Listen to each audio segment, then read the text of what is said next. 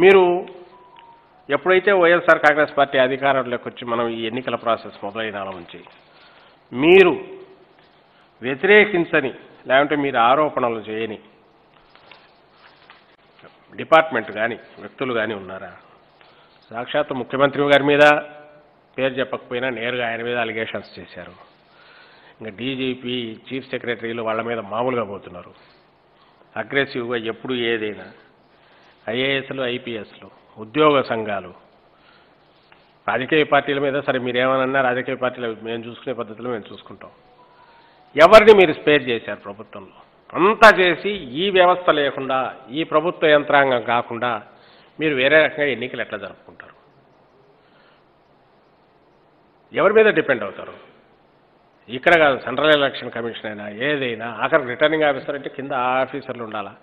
వాళ్ళే చేయాలి. వాళ్ళ మీద డిపెండ్ కావాలి.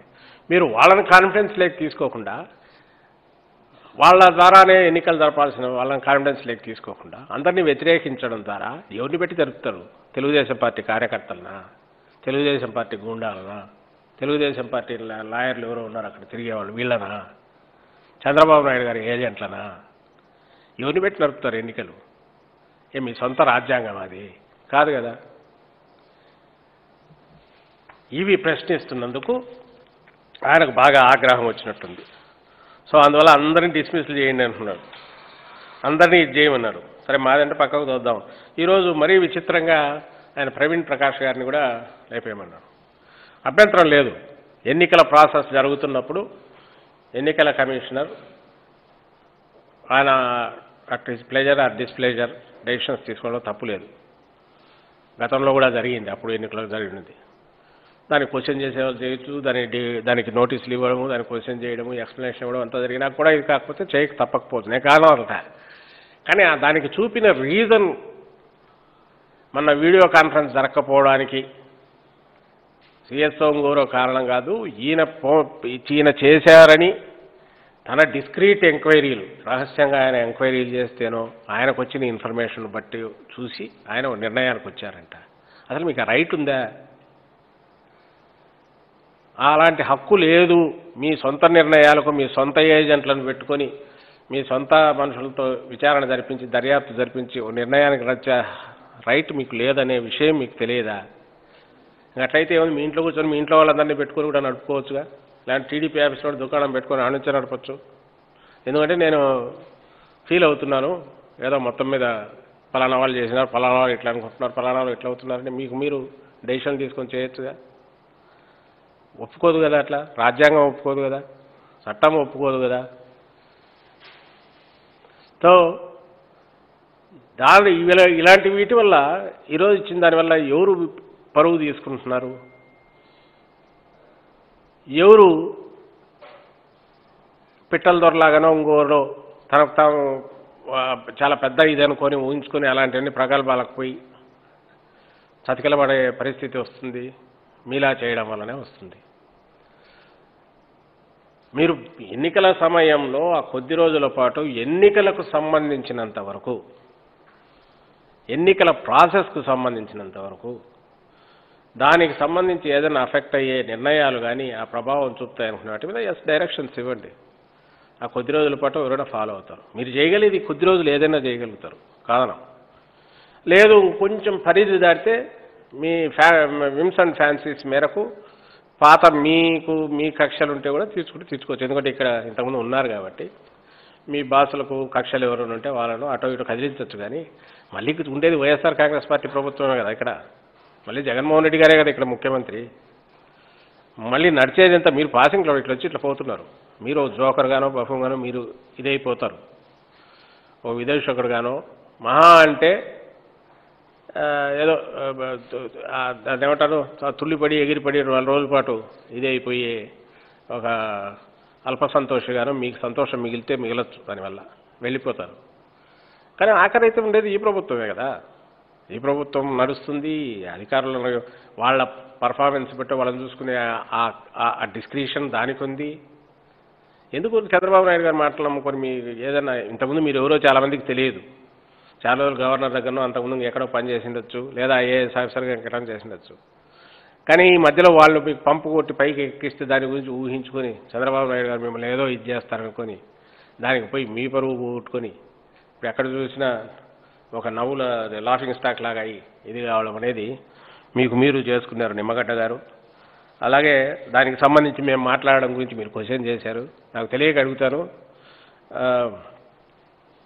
యాజ్ ఎ పొలిటికల్ పార్టీ డెమోక్రసీలో గవర్నమెంట్లో ఉన్నవారు పొలిటికల్ పార్టీ వాళ్ళు థిన్ లైన్ ఉంటుంది తప్ప వాళ్ళు ఏదో అమెరికన్ ఇది కాదు ఎక్కడో బయట నుంచి తెచ్చి వాళ్ళని పెట్టుకొని ఇలాగే దీని దారిన పొలిటికల్ సిస్టమ్ వేరేనో ప్రెసిడెన్షియల్ సిస్టమ్ కాదనే విషయం మీకు తెలియదా? మంత్రులు ఎంతమంది ఏం టీడీపీ వాళ్ళు లేరా? రోజు టీడీపీ వాళ్ళు నోటుకు వచ్చినట్టు తిడుతుంటే మేము ఖాళీకి కూర్చోండాలనా? సజ్జల రామకృష్ణారెడ్డి అడ్వైజర్ కావడానికి ముందు పార్టీ ప్రధాన కార్యదర్శి.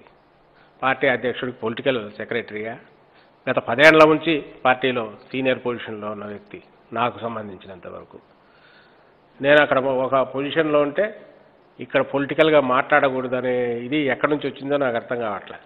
ఇది డెమోక్రసీనా లేక ఇంకేదో అది కూడా అర్థం కావట్లే ఆయనకి ఏది అనిపిస్తే అది అనడం. నన్ను అన్నందుకు కాదు తప్పకుండా అనొచ్చు. ఎప్పుడు ఆయన టీడీపీ ఆఫీస్లో కూర్చొని ప్రెస్ కాన్ఫరెన్స్ పెట్టి నన్ను తిట్టమనండి. బాగానే ఉంటుంది. ఎస్సీసీ ఎలక్షన్ కమిషనర్గా ఉండి ఆయన పొలిటికల్ పార్టీలో ఎవరు ఉండాలి ఎక్కడ కూర్చొని మాట్లాడాలి అనే నిర్ణయించే అధికారం మాత్రం ఆయనకు లేదు. నో డౌట్ ఎలక్షన్ కమిషనర్గా ప్రాసెస్ రిలేటెడ్ దానిగా ఆయన సంబంధించి ఎవరో మొన్న ఎస్ఐలో ఎస్పీలను కలెక్టర్లో ట్రాన్స్ఫర్ చేయమన్నారు. నిరభ్యంతరంగా. తర్వాత పంచాయతీరాజ్ సెక్రటరీ నాకు మార్చండి అన్నారు. నిరభ్యంతరంగా. మళ్ళీ నువ్వే నాలుగు గడుచుకొని వద్దొద్దంటివి. సరే మళ్ళీ వెనక్కి వచ్చి చేసుకుంటున్నారు. ఇవ- వాటికి ఎవరు క్వశ్చన్ చేయట్లేదు మేము. మేము మీరు టీడీపీ చంద్రబాబు నాయుడు గారి బ్రదర్గానో తమ్ముడే అవుతాడేమో. అన్న కాలేడు ఒకటి ఏజ్లో తిన్నా కాబట్టి. అలాగా ఆయన ప్రయోజనాలు సొంత ప్రయోజనాలు ఆయన స్వార్థ ప్రయోజనాలు చిన్న సెక్షన్ ప్రయోజనాలు కాపాడే వ్యక్తిగా మీకు మీరు ఎస్టాబ్లిష్ చేసుకుని మెడలో ఎముకలు వేసుకొని మీరు బిహేవ్ చేస్తూ వచ్చారు కాబట్టి ఖచ్చితంగా క్వశ్చన్ చేస్తాం. మళ్ళీ మళ్ళీ చేస్తాం. మళ్ళీ తిట్టం. క్వశ్చన్ చేస్తూనే ఉంటాం. మామూలుగా ఆలోచించినా కూడా టీడీపీ వాళ్ళు నోటుకు వచ్చినట్టు మీరు అనకూడదంటే అదేనా అన్య తప్పు కదా రమేష్ గారు? అదేనా తప్పు కదా? వాళ్ళు నోటుకు వచ్చినట్టు మాట్లాడుతున్నారు. మీరు నోటుకు వచ్చినట్టు మాట్లాడుతున్నారు. మేము మాత్రం నోరు మూసుకొని ఉండాలా? తప్పు కదా మీరు అట్లా అనడం. సో మేము ఇది క్వశ్చన్ చేస్తూనే ఉంటాం. ఇంక మీరు మారరు. ఎందుకంటే ఇదంతా కలిసి ఒక నెల రోజులు అయిపోయే కార్యక్రమం. నెల నెలన్నర రెండు నెలలు ఎప్పుడో ఇవి అయిపోతాయి. మీరు మార్చి ముప్పై ఒకటికి మీరు వెళ్ళిపోతారు. తర్వాత ఎన్నికలు మిగిలిన ఎన్నికలు కూడా ఏలో మార్చి ముప్పై ఒకటిలోగానే నేను కొట్టేసి చంద్రబాబు రుణం తెచ్చుకోవాలంటే బహుశా అవి కూడా ఇప్పుడే పడేస్తారో తెలియదు. కోవిడ్ ఉన్నాయి మీ దావ మీరు దావండి మాకు ఎన్నికలు జరిపేసేయండి అని. లేదంటే అవతలన వస్తాయి. ఏదైనా సరే నెల రెండు నెలలు అయిపోతుంది అక్కడికి. మీరు ఆల్రెడీ చరిత్రహీనులు అయిపోయారు ఓ మంచి అవకాశాన్ని మిస్ అయ్యారు. నిష్పక్షపాతంగా ఎన్నికలు జరిపే అవకాశాన్ని. మరి ఇది అయ్యారు సో అందువల్ల ఇప్పుడు మీరు చేస్తున్న పనులు పెంచితే ఇస్తే మా గౌరవం పెంచితే పెంచుతాయి. ఎక్కడైనా చూస్తే ఎందుకంటే మేము మాట్లాడుతుంది కరెక్ట్ కాబట్టి. మాకు ఆ మాత్రం నిగ్రహం ఉంది. ఎంత పరిధులు దాటకూడదు అనేది అలాగే ఓ- ఓ మెచ్యూరిటీ ఉంది. ఎవరితో ఎలా బిహేవ్ చేయాలనేది. You lost that. మీకు అది లేదు. అది చూపించారు. ఒక్క వ్యక్తి చంద్రబాబు నాయుడు గారి కృతజ్ఞతలు. ఆయన కృతజ్ఞతలు చెప్పడానికో ఆయన రుణం తీర్చుకోవడానికో తెలియదు కానీ మీ అటాక్ అంతా గవర్నమెంట్ మీద వైఎస్ఆర్ కాంగ్రెస్ పార్టీ మీద మా నాయకుల మీద. మీరు ఎన్నికలు నిర్వహించే తీరు మీద కూడా మాకు పూర్తి నమ్మకం కాదు అనుమానాలు కాదు. మీరు ఎక్కడ సందు దొరికితే అక్కడ మా పార్టీ నాయకుల మీద తప్పుడు కేసులు ఇవి పార్టీ రహితంగా జరిగే ఎన్నికలైనప్పటికీ మా వాళ్ళ మీద తప్పుడు కేసులు పెడతారని నాకు మాకు గట్టిన ఇది ఉంది. అలాగే ఎక్కడ ఎలాంటివో క్రియేట్ చేసైనా సరే టీడీపీ వాళ్ళే క్రియేట్ చేసిన వాటిని బేస్ చేసుకునైనా మమ్మల్ని ఎరకాటంలో పెట్టాలని లేదా ప్రభుత్వ అధికారంలో ఉద్యోగులను టెర్రరైజ్ చేసి ఎన్నికల ప్రాసెస్ను వక్రీకరించి దాని దాన్ని సబ్వర్ట్ చేసి టీడీపీకి ఏదో నూకలుంగా ఉన్నాయి అని కలిగి ఇది కలిగించే ప్రయత్నం ఒకటి చేస్తున్నారు కదా అది మీరు ఇంకా ఇదే కంటిన్యూ చేస్తారని కూడా మాకు తెలుసు. ఈ చైతన్యం ప్రజల్లో కూడా కల్పించే కార్యక్రమం చేస్తూనే ఉంటాం. అలాగే చంద్రబాబు నాయుడు గారు ఏకగ్రీవాలనేవి ఆయన హయాంలో అయ్యాయి అలాగే పార్టీ రహితంగా జరగడం అనేది ఆయన దగ్గర నుంచి జరుగుతూ వస్తుంది.